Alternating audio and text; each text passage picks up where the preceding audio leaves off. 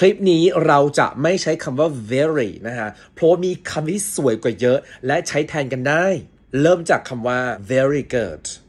อย่าพูดคำนี้บ่อยค่ะ ให้พูดคำว่า